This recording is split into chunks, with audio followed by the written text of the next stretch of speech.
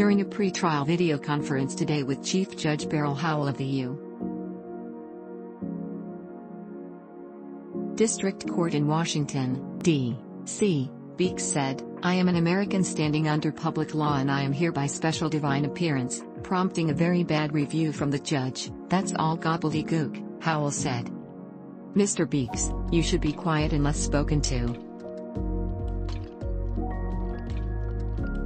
Beeks, a stage actor who has appeared on Broadway in Kinky Boots, Aida, Ragtime, and Smokey Joe's Cafe and most recently starred as Judas in the touring production under the stage name James T. Justis, was arrested in Milwaukee last week and charged by the U Attorney's Office for the District of. Today, Beeks told Howell that he did not recognize the government's jurisdiction over him, insisting at one point, I am an American standing under public law and I am here by special divine appearance, an argument associated with the sovereign citizen movement. Beeks dismissed the label, though, noting, I'm not a sovereign citizen.